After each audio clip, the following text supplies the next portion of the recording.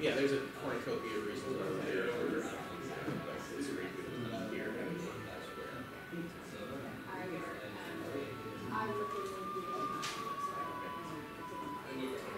Yeah, sounds, awesome. All right, kids. Yeah. I'm you it.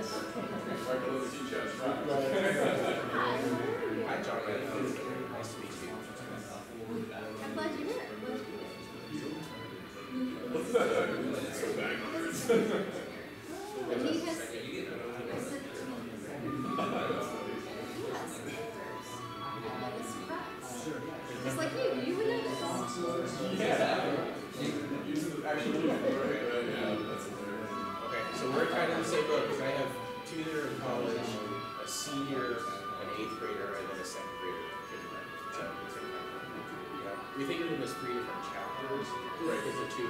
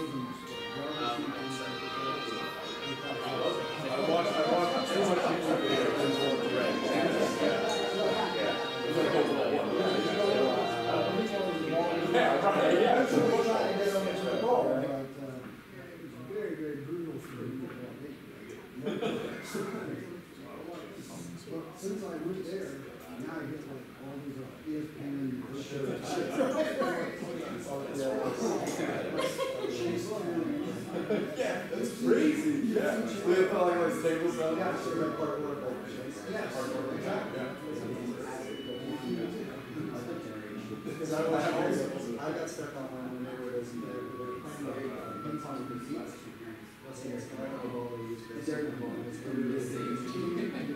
We did that one, Right, but not anymore. Or when they, our famous one is, I'm gonna see if that works itself out before I go investigate that, right? Right. Here's the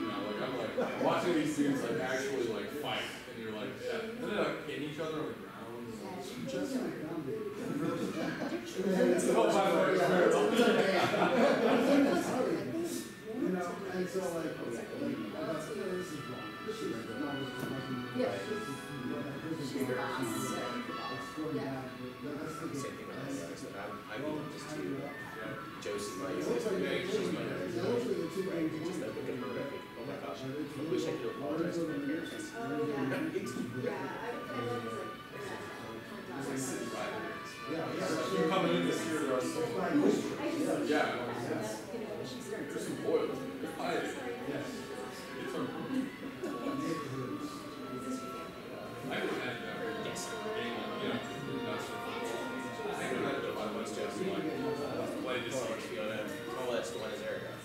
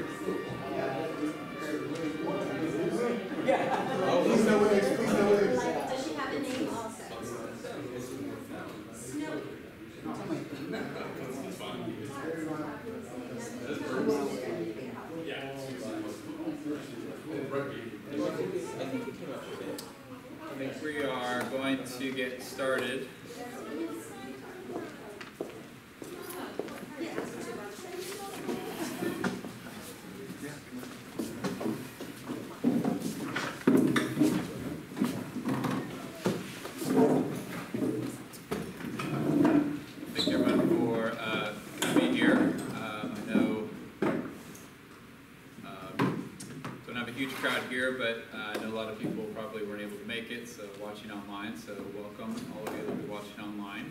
Uh, we appreciate your support and uh, desires to find out what the Lord's doing with the school and um, how things are going, and uh, looking ahead a little bit to uh, the next steps that we have um, as God opens and closes those doors for us as a school. Before we uh, get into this, let me open up in a word of prayer. Gracious Heavenly Father, we know that by your hand of providence that you are moving in this world.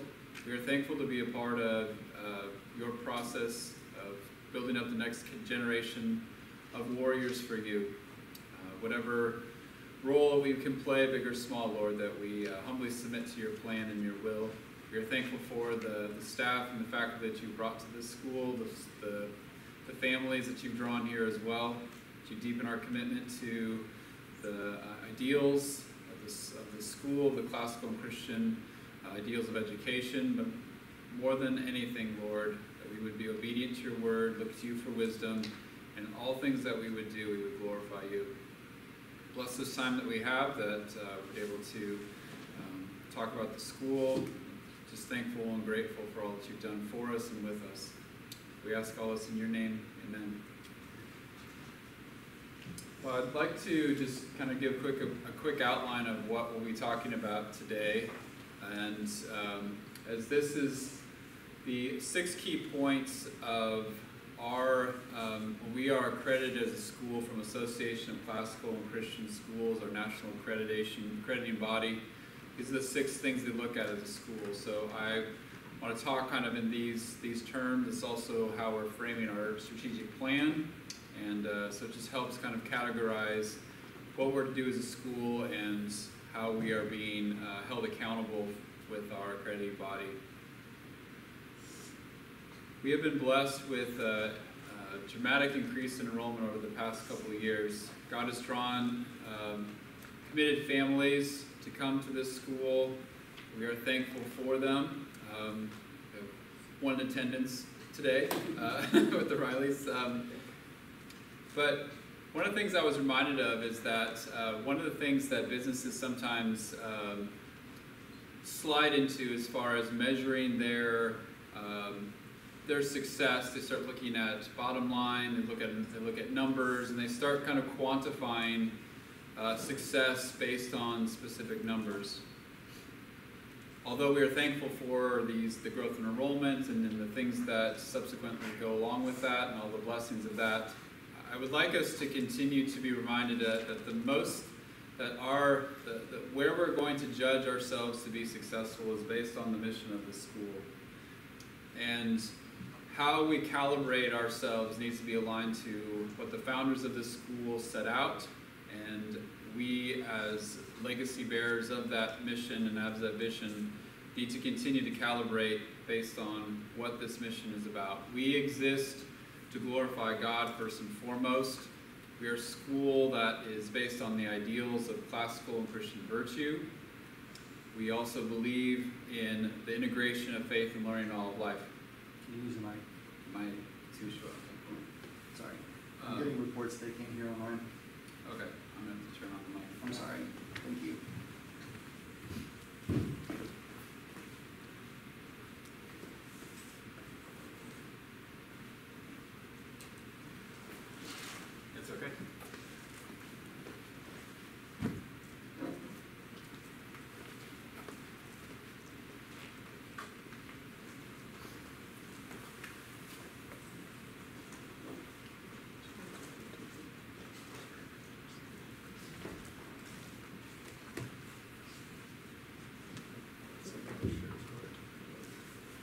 Test, okay.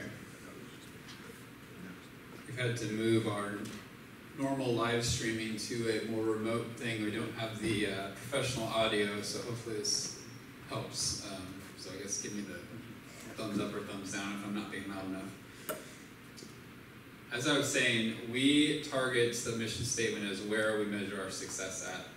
And although we like to look at other measures to help kind of support that, that's really where we want to frame what we're doing and how well we're doing is based on what the vision of the school was by the founders. The second thing that we look at and the thing that we are calibrating our success on is how well we graduate students and what, what kind of students are graduating from us as a school. This was recently approved by the school board as a portrait of a graduate.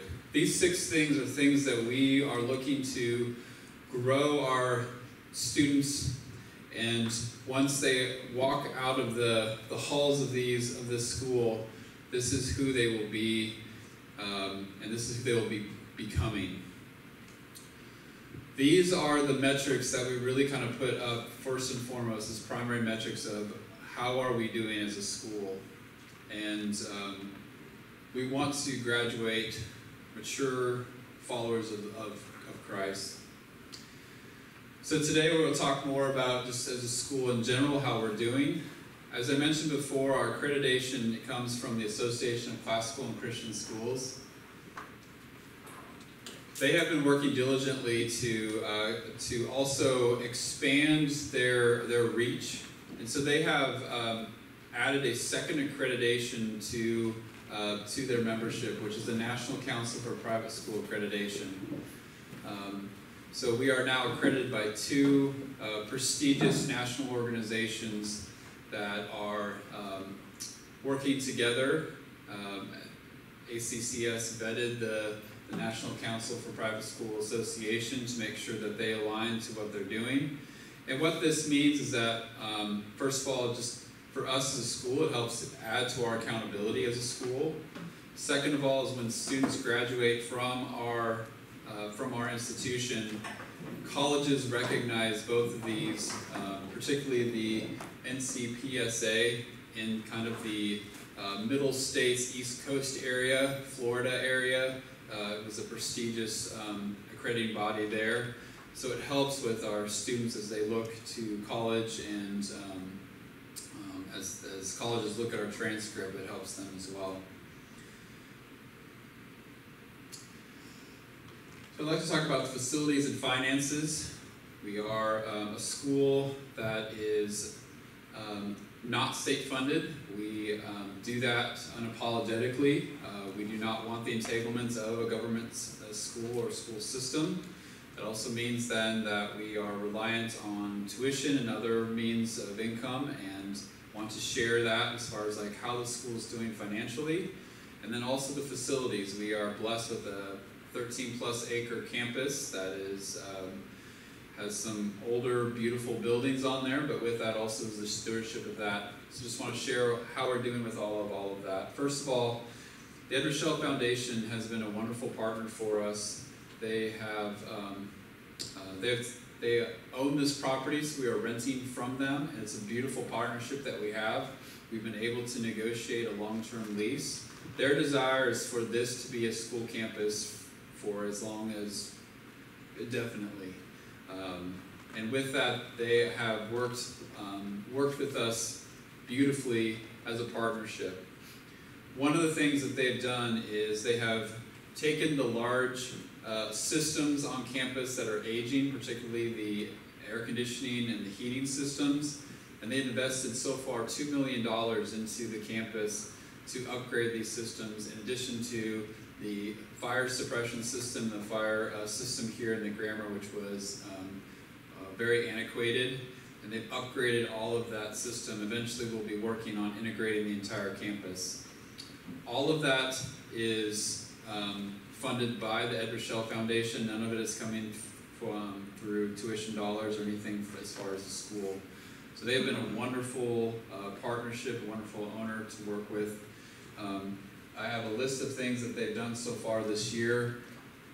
A big project that's coming up this summer is to replace the air handlers in the second floor of this building, which will require cutting a hole in the roof and pulling them out and putting new ones in. Um, it will allow us to uh, help regulate the, the, the, temperature in that second floor, uh, making it more comfortable and uh, more energy efficient as well. And then down the road, looking at continuing to replace more AC units, and then tying in all the fire suppression systems on the entire campus. We're blessed with this partnership, and they have helped us also just financially taking off the burden of trying to upkeep a large um, aging facility and uh, taking that financial burden off of our shoulders, which has been wonderful.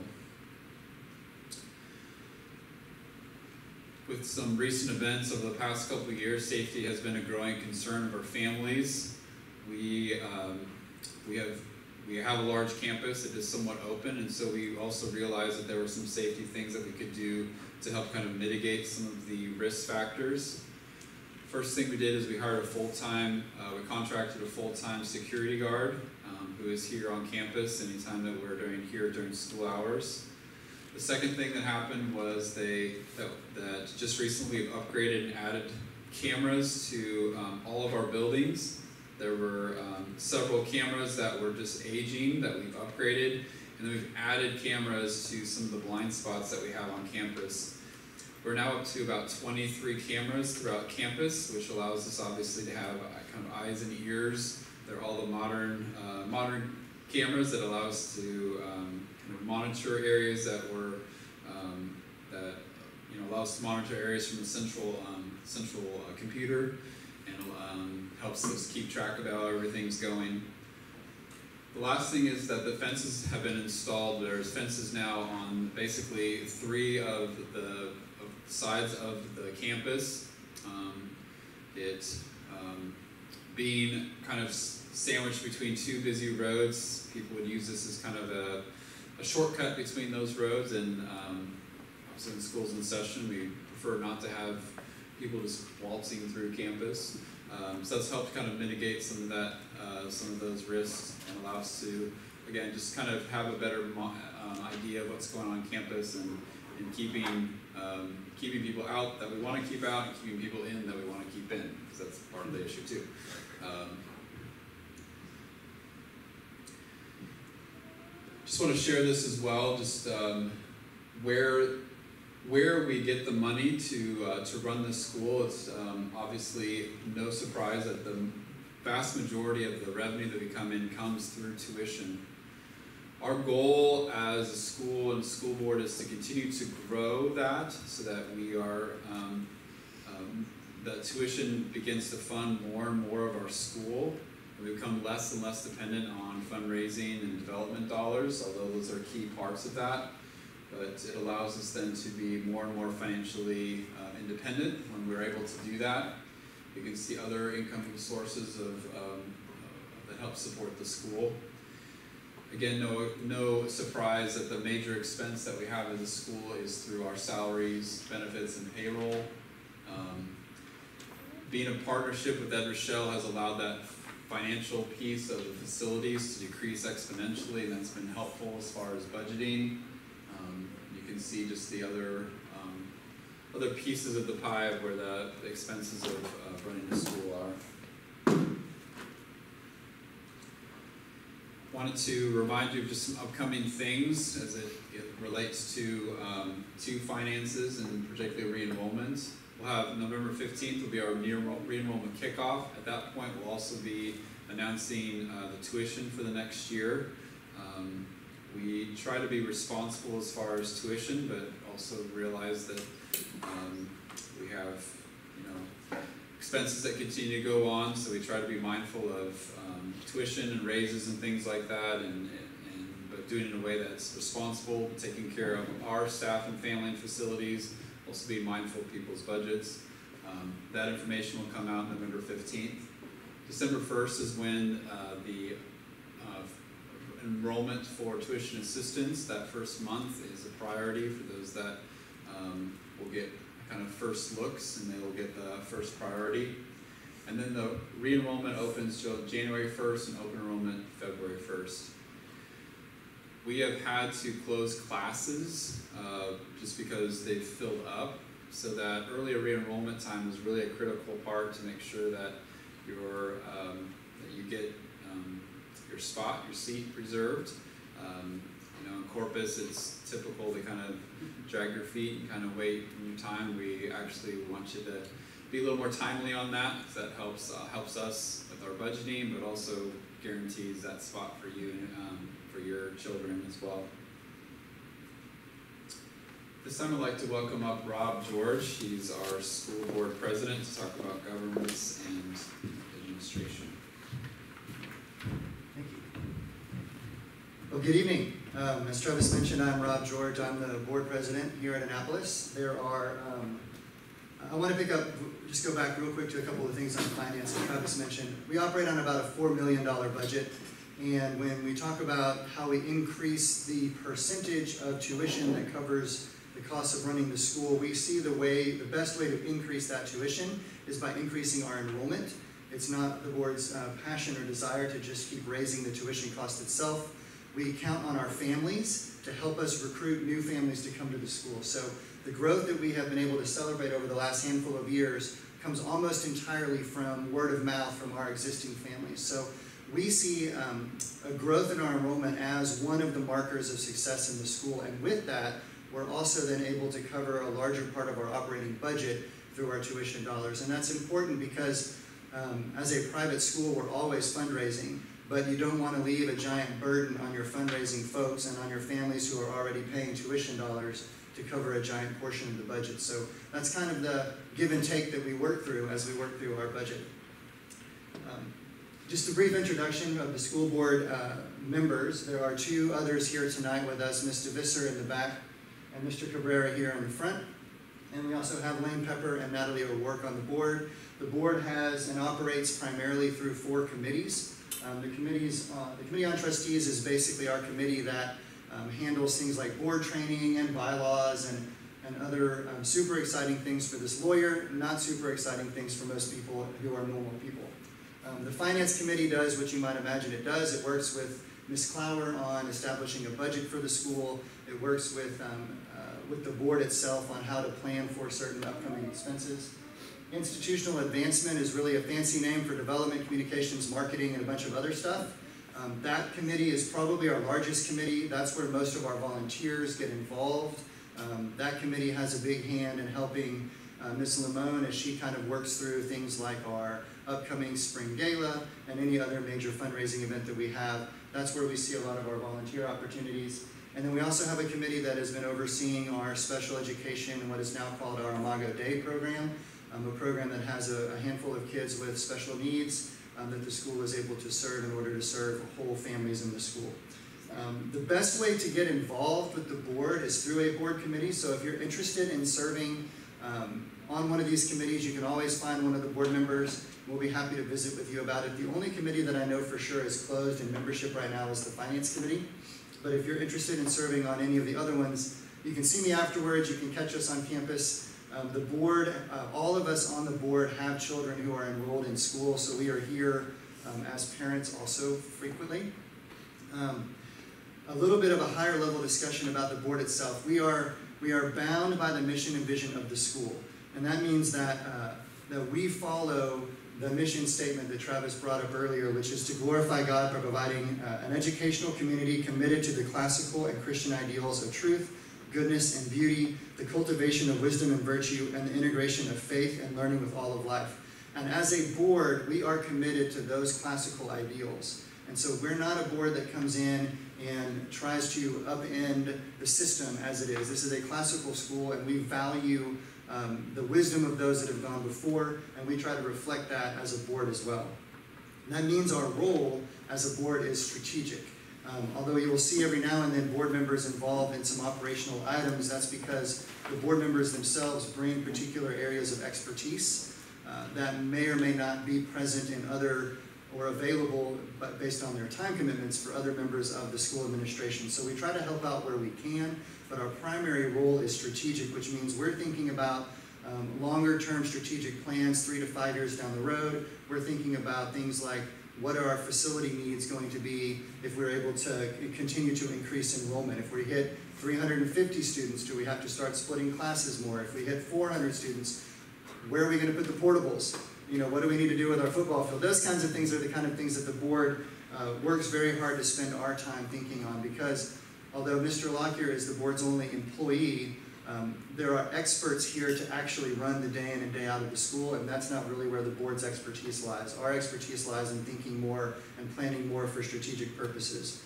Um, the board is also self-perpetuating, which means that we don't have open elections. It's not like a public school board where you'll see my sign in your yards and I'll be asking you for campaign donations, and uh, it doesn't work like that here. We're self-perpetuating, so what that means is, again, if someone is interested in serving at the board level, get involved in a board committee, serve on campus, you will be noticed. Your opportunity to serve on the board will come by an invitation from the board. Um, as we see needs that we have coming up where we may need to bring in particular, um, particular expertise, we seek to fill those roles like that. Oops, sorry. The, uh, the board, the bylaws allow us to have a maximum of nine members. As you can see, we have five. Um, we try to keep a decent balance. We'll probably add a couple more board members this coming summer uh, if that's what God leads us to do. All of this is done, all that we do is done with the, with the heart for service. This is not a, to pat ourselves on the back, but a heart for service for the school. Again, like I mentioned, we all have children in the school, which means that every decision the board makes doesn't just impact the school, it impacts us at our house. And with a 14-year-old daughter, you can believe that I hear all about the impact that the board has on, uh, on things that are going on on campus. Want to talk a little bit about it. I'm going to put some um, organizational charts up here. There won't be a quiz afterwards. They do get a little bit complicated. We will make these slides available if you want to come back and review them or see them online at another time. Um, the board, uh, the school itself is basically organized into two primary um, divisions, more or less, all overseen by Mr. Lockyer. The slide on the screen now shows our the business side of the school, if you will. And then on the next slide, you'll see, and this is more complicated, uh, this is the academic side of the school, or the school side of the school. So um, we don't currently have a role in the school called a principal. We used to, and then we had some administrative changes, and then we had COVID, and then we had some budget challenges, and the long and short of it is, we're looking forward to filling more administrative roles down down the, down the line um, by God's provision, both in funding and in need. So over the last few years, we've, uh, Mr. Lockyer has been able to hire um, Mrs. Floyd, who is the Dean of Students and the College Counselor, and he was able to promote uh, Mr. Steckbeck into the Director of Spiritual Life position. So he's been able to increase a little bit of our administrative team here at the school to help Mr. Lockyer not be the sole kind of administrator across campus. We do look forward to hiring more down the road, but we also recognize that as you hire more administrators, you also start to affect what you're able to do with the rest of the faculty, with the rest of the staff on campus. And that's a delicate balance that as the head of the school, Mr. Lockyer gets to work through. So I'll be here afterwards if y'all have any questions for me. More than happy to visit with y'all. Thank you so much for taking time to come out tonight, for time, uh, taking time to watch us online, or perhaps to watch it later. And we're very grateful for all of the volunteerism that we see. I think one of the most impactful things that we see as board members is the time that the parents take and the sacrifices that the parents take to, to entrust Annapolis with their children. Um, we believe our whole goal on campus is to come alongside families to further the discipleship of their children. That's what we think parents are entrusting us to do. The academics is part of that, but as Travis mentioned, the big goal is the portrait of a graduate that he was able to display earlier. We want to know that when our students graduate from here, they are disciple makers. They are warriors for the kingdom. That's how we measure our success at the end of the day. So thank you for your time.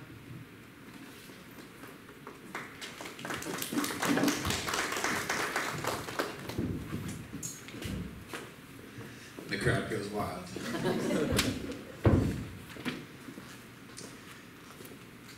I'd like to uh, welcome up Mr. Steckbeck as um, his, like uh, Rob mentioned, he's been promoted to um, a role of Director of Spiritual Life, and, and he spent quite a bit of time this summer, um, he and I and Mrs. Floyd, working on basically putting together, we've got all these things that we're doing, can we put it together in a way that uh, is explainable and understandable of how is this, how is this matching up to our portrait of the graduate and our mission of the school? And he was able to put all that together in um, kind of a, I think, a, a way that makes sense and is easy to understand. And so I wanted to share kind of how we've kind of put all this, all this stuff that we do together in a way that shows that we are moving towards cultivating student virtue. Sir? Hello, everybody. Uh, so, like Travis said, I'm Patrick Steckbeck, and I was promoted this year to the Director of Spiritual Life, and it has been a wonderful job so far. Uh, I could talk for a really, really, really long time, like I talked to the board the other day about my job and what we're trying to do, because I really do geek out about it and really love it. I love the students, but I also love uh, this aspect of the job. But I will do something that men in my profession do not do very easily, which is land the plane. Um, so goals of spiritual excellence, you can see them on there. On the right, before we get to the goals, we have a picture of Dante's uh, Paradiso, and Dante is beholding uh, what we call in theology the beatific vision, so the happy vision of God uh, that we'll all get to experience on the last day. Our goals are to see Christ uh, with the mind, uh, to serve Christ with the will, and to love Christ with our affections. And so on the bottom there, you have various ways in which we try and do that throughout uh, our school. So we have morning time with the grammar, and they meet daily to hear God's word and to work through what we call liturgy, uh, which is a way of them to uh, do worship in an orderly way and develop excellent habits of spiritual excellence. Uh, weekly, we do solar chapels, and in that, we have thought out a timely liturgy that doesn't detract from uh, weekly worship or try and institute uh, an organized church or anything like that, but we're trying to get our students in the habit of worshiping God in a righteous way. Daily, we do a liturgy called the Benedictio, where we read a portion of Scripture and then we sing a song that functions as our prayer, uh, and it's been getting better and better.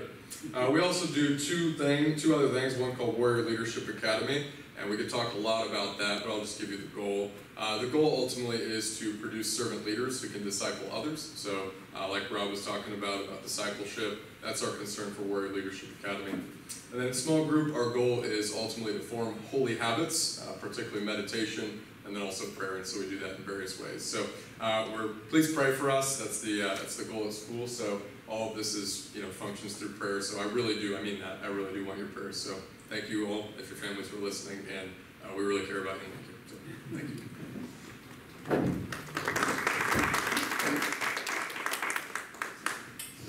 Thank you.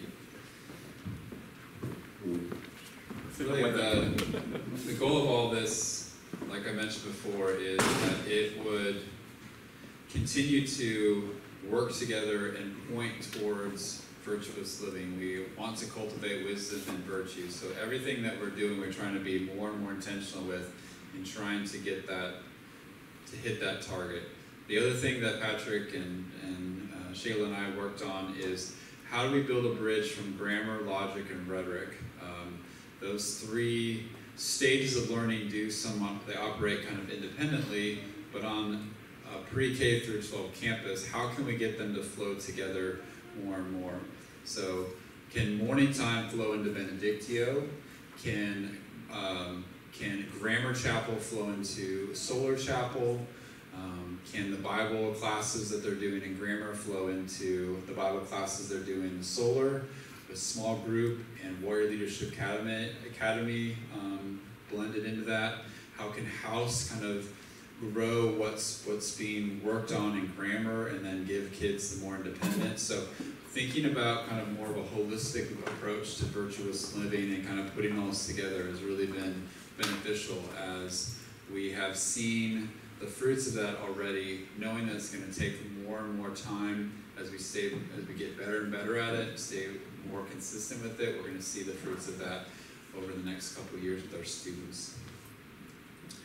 In addition to that, an extension of what we're doing, extracurricular piece of it is that how do we bring in what happens in the gym and on the football field um, into what we're trying to do here on the campus itself?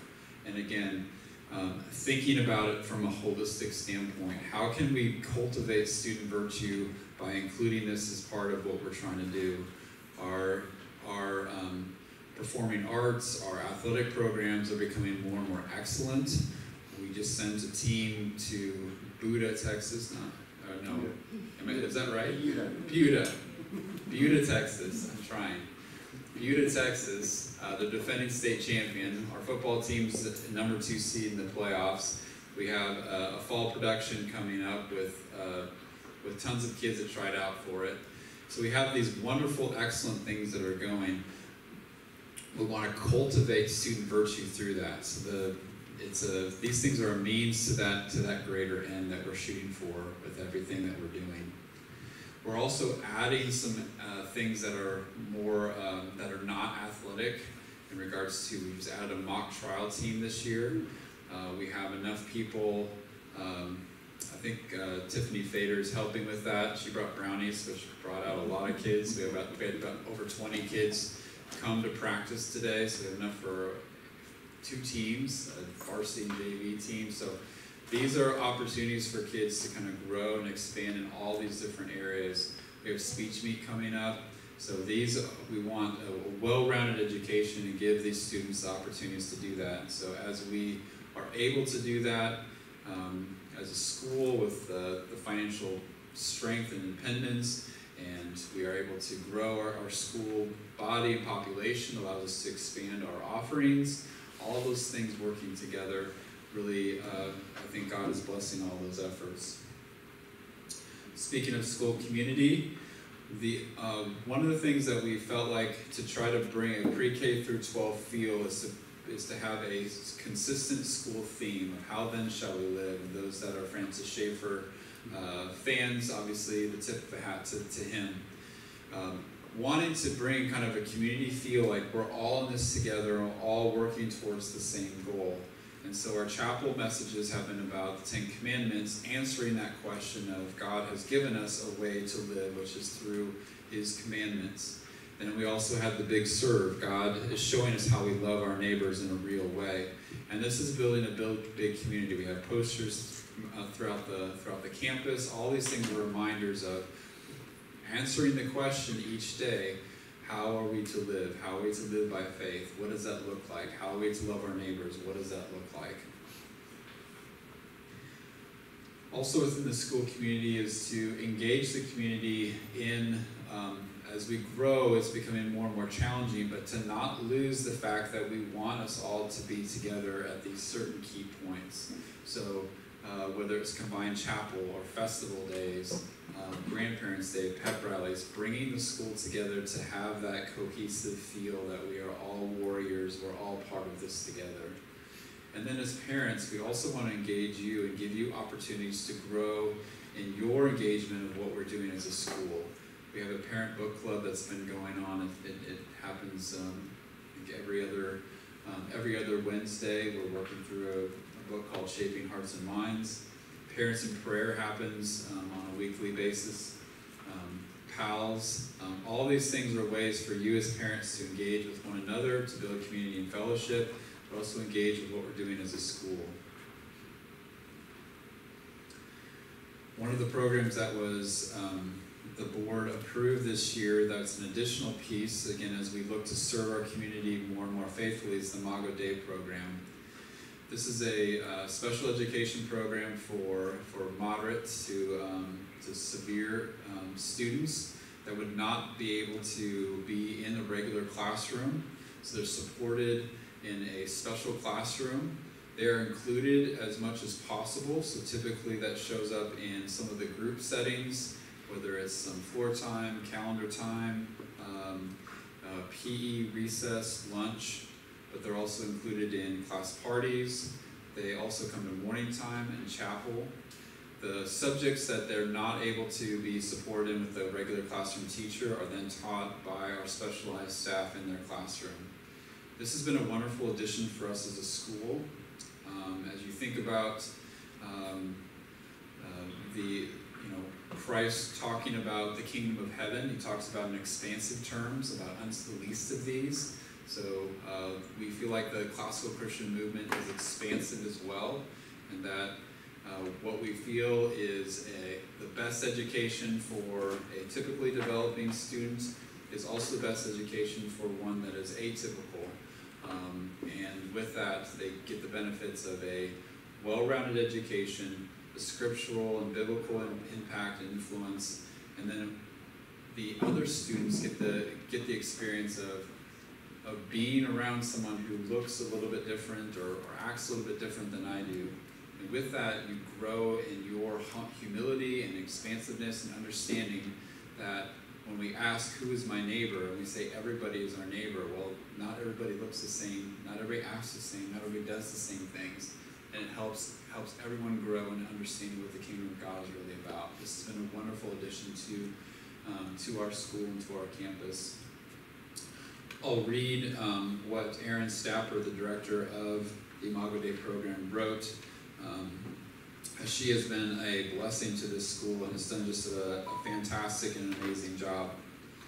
This is what she wrote. As a special education teacher spearheading the Imago Dei classroom, I'm delighted to provide you with a brief but significant update on our progress. Our journey at Imago Dei, which translates to Image of God, has always been rooted in our commitment to recognize the divine worth in every individual. It's an honor to share how our classroom embodies this mission. This year, we've made substantial strides in fulfilling our commitment to an inclusive education. We are pleased to announce that we have successfully doubled our classroom size from two to four students. This expansion represents not only our dedication to inclusivity, but also our, our belief in the potential of each student to reflect the divine image within them. It's a testament to our school's commitment to provide an exceptional education to all students, regardless of unique learning needs. In addition to our growth, we are actively engaged in grant writing initiatives. These efforts are crucial for securing resources that will allow us to provide the best possible education to our students. By seeking external funding, we aim to further enhance our classroom's capabilities and create an environment where every student can thrive and realize their full potential. Our daily work remains rooted in the Imago Dei principle, where each child is recognized as a unique creation in the image of God an exciting addition to our classroom experience is the introduction of an adaptive PE class. While our students continue to attend general education PE classes with their peers, we are immensely grateful for Mrs. Dempsey's support in providing a specialized PE class tailored to our Imago Dei students. Additionally, we are privileged to engage in adaptive music and art, enriching, enriching our students' experiences. I would also like to express my appreciation for the collaboration with other members of our campus community, such as Mr. Prothro, who graciously introduced us to the world of quails. He kindly brought two quails into our classroom where our students were able to experience a hands-on approach to learning that aligns with the classical education model. Through interaction, interactions like this, we have cultivated a connection to our campus, instilling in us a profound sense of belonging. I'm continually heartened by the broader student body's initiative to embrace and support our Mag- Imago Dei students. Often during recess, students deliberately pause their activities to invite Imago Dei student to join in their play. We are truly blessed to witness the compassionate and inclusive spirit of our students, who exemplify the true essence of a warrior heart. Again, like I mentioned, this has been quite a blessing for us. The next piece is to talk about academics, and um, probably the easiest way to do that is just to look at some of the standard, uh, standardized testing scores that we that we take. Our students take the Classical Learning Test, uh, CLT. Uh, it offers assessments that evaluate English, grammar, and math skills. It's a comprehensive measurement of achievement and aptitude. This is, uh, I just want to show you that, uh, first of all, our students 7th through 12th grade all took the CLT test in the spring, and all of those grade level groups scored above the national average.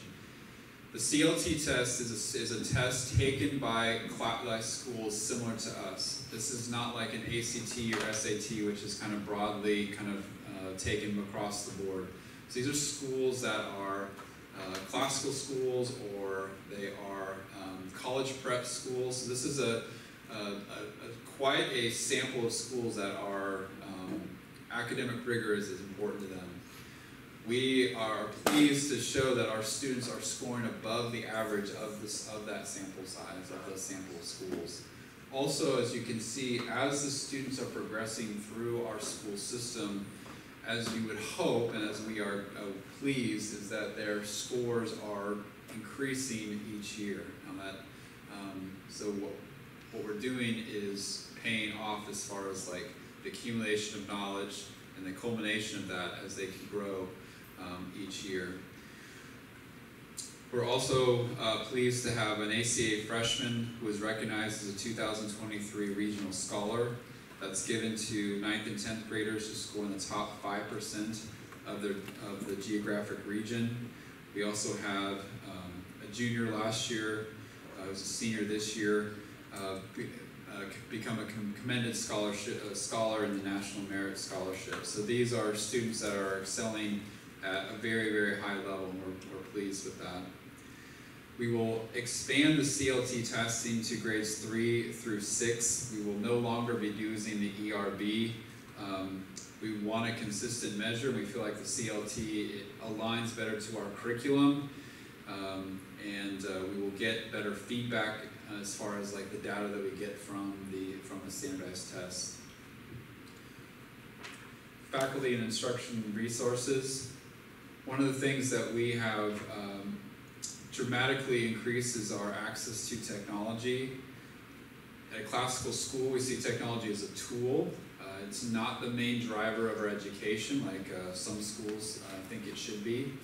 Uh, but we do see that it's an important uh, way for students to grow and learn as students in as a tool to assist their learning.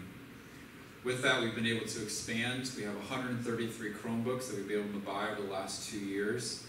This is allowing access from grades 6 through 12 to computers. We still need to continue to grow access as our science uh, students need access to computers. This is something that we'll continue to, to work on. We do live streaming on a daily basis to help engage our community uh, with morning time, chapel, special events. We also um, have for athletic events, we have um, our Hudl camera that we've been able to upgrade and the software and the programming that goes with that to allow people to watch our sports. And uh, if they're not able to attend in person, they can see all the home games. That includes grammar, junior high, and high school games. And then we also are allowing, we're also able to live stream select away games like the upcoming state volleyball tournament. We'll be able to live stream if the Wi-Fi signal holds. Uh, um, we'll be able to, live stream all of those games to help engage our audience, and we have quite a bit of people that are interested in those games. With that, though, comes the increase of firewalls, software, subscriptions, monitoring, all those expenses that go with it. Also increasing Wi-Fi access, access points. So as we've increased technology, the obviously the expense and upkeep and, and all of that continues to grow. So it is it's a we've been blessed to have money and grants that have helped uh, help us expand it, but it's also something as a need that we will um, continue to need to upgrade to allow technology to work in a way that um, makes it effective and not frustrating for people. The other thing that we have implemented this year is a, uh, a teacher certification program. As part of ACCS, they've required us to, um, to have a certification program, which we've had in place. What we found though is we wanted to really grow this program to really be meaningful and impactful for, for teachers to grow professionally. This is called Arete Academy. RETE means excellence, the Excellence Academy or Academy for Excellence. Um, it's a way for teachers to grow and to meet them where they're at to help um, to help them flourish here at school. We believe that uh, it's a biblical principle to um, to grow, um, to continue to grow professionally, to grow spiritually, and this is a way for us to provide that. There are three main things that we do with it. Is first of all the pedagogical training, the actual like art of teaching. The second is just learning what it means to be a classical Christian teacher. And the third is how to grow your, your domain specific, your content itself. Instead of a one size fits all training program, we've broken it up into these three main categories. First year teachers go through a broad brush kind of how to survive your first year at Annapolis. What does it mean to be a classical Christian teacher? I lead that with the, with the assistance of uh, Shayla Floyd. Year two is led by Patrick Steckbeck. They go through a book called The Liberal Arts Tradition and take a deep dive into what is it, what does a classical Christian education look like? And they spend their year learning and developing and growing that. What was introduced year two, they become very deep and uh, deeply ingrained in. Year three through six becomes a cycle. So this is year year two. Becomes a cycle. They are assigned to one of three cohorts, and each year they change the cohorts. So after three years, they will have year one, which will be a pedagogical training. Year two is going to be a professional development track. Year three, that's a domain specific one. Year three then is what is it to be a classical and Christian educator. Each year they're able to go deeper and wider with this information and uh, help with their um, help with their professional development. The last section to talk about is our advancement and development. As was mentioned before, we are uh, we have a wonderful network of volunteers, and one of the things that we one of the new initiatives this year was to get our students out into the community to become the hands and feet of Christ. This event called the Big Serve was uh, was our attempt to do that on a big scale and it allows us to launch then on a smaller scale that idea of, of serving one another. We're very thankful for the success of it. Many of you were involved in it. It was a beautiful time to go out. Uh, the beach was great. It was wonderful. There wasn't a lot of trash either, so we'll have to kind of figure out, find a place where there's more trash to, to take to pick up. Um, but it was great to see the energy of the students, the enthusiasm, the desire to, to grow, desire to, to serve. We had a group of students go over here to Choice Living and really get pushed out of their comfort zone, but to see them respond in a way in, a, in humility and desire to love and serve was was absolutely fantastic. Our seniors went to the Rise School to help uh, help them on some small projects, and again to be a part of a, a different kind of out of the out of the comfort zone environment and to see our kids just step up and flourish was amazing to see. The development really targets our Warrior Fund, and the Warrior Fund has five main priorities. It supports a lot of what we do as a school, but it has like has some key things that it does. First of all, is it, attack, it tracks and retains um, our our teachers. The teachers are the lifeblood of this school. Um, they're they're in the front lines. They're the ones that you're going to deal with the most. Um, you're the they, you're they're the ones that are going to have the most impact on the satisfaction of your son or daughter's experience here at school. We want to have the best teachers possible. I've talked about the Red Academy as us is investing in them, allowing them to grow, but we want to make sure that we have the, we have qualified and excellent teachers here and to keep them here.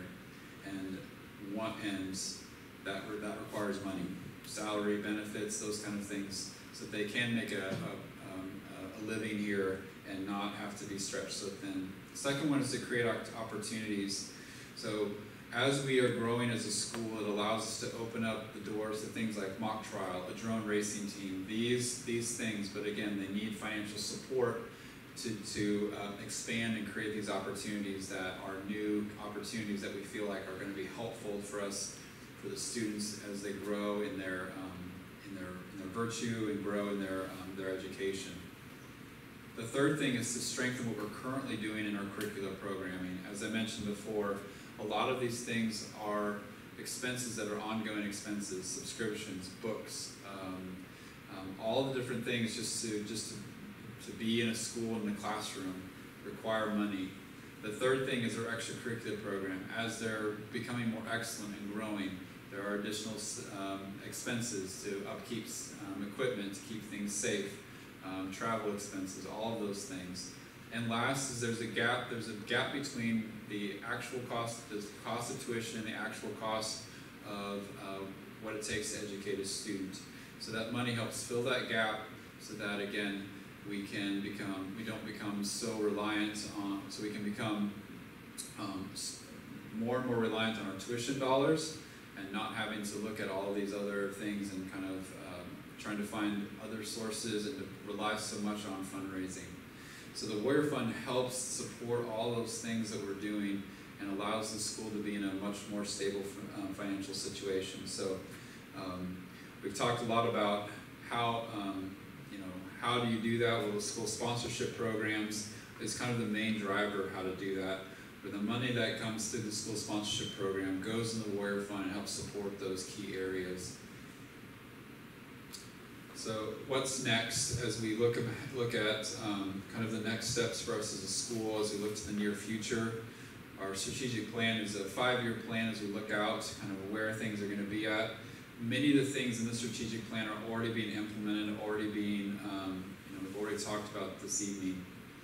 But I'd like to just talk just kind of more specifically. The first thing is to finalize the strategic plan as the board has been working through it in its final stages. There's two last steps. One is to have the teachers look at it, get input. The last part is have stakeholders, the general public, you guys come take a look at it to make sure everyone's on board as far as what we're doing as a school and to get the final approval. We're hoping to do that by the end of this, of this school year. The second thing we've talked about already is just continuing their financial independence to um, to be more driven by tuition dollars and let, being less reliant on grants and uh, fundraising. The third is to formalize the board recruitment. Um, we, um, the board, there'll board members that are, will be rolling off. We want to recruit high quality board members on so that we continue the faithful stewardship that they, that they have done throughout the years. Next is to upgrade the aesthetics of, um, of the facilities. We're thankful for the Ed Rachal Foundation doing a lot of the big stuff, but the flooring, the general just decor of the, of the classrooms, things like that requires us to continue to be, to upkeep them, the carpets and those kind of things. We wanna increase the aesthetic, adding more, um, beautiful pictures, artwork, those kind of things. And, um, and just allowing this school to become more, uh, continue to be more and more beautiful. Next is to invest in the staff as we grow the benefits of working here. Um, we, we want people to come here and see this more as just a, a calling and just to barely scrape by. We want people to have a, a solid living here where they can, where they can be comfortable, raise a family. We love that there's heads of household that are working here, but all of that though requires us to continue to take care of them and to increase our ability to take care of them through the just the financial investment we have in them and the benefits of that. And then last, just invest in student culture. We want students, we want families to come here and stay here and be committed to that. And that retention rate, we want to continue to grow as each year we've been setting a record the last two years. Our goal is to be at ninety percent or higher. All those things help as a school as far as budgeting and be able to look ahead strategically knowing we have a, a committed base of families that we can, that uh, we will have that solid foundation going forward. But that for us requires investment in the culture where this school uh, continues to deliver on the things that we need, that we say that we're going to do. And that when we're targeting our mission and targeting the, the um, portrait of the graduate, that those students are becoming more and more virtuous in what we're doing. So day in and day out work that we're doing pays off by the dividends of these students graduating and going on and flourishing in, whatever God calls them to do. The last thing is a quote from John Milton Gregory, um, one of my favorite quotes when it comes to this because he mentions about warriors. Um, basically, the role of the teacher is what he's talking about, but it also has, I guess, a general context of the school.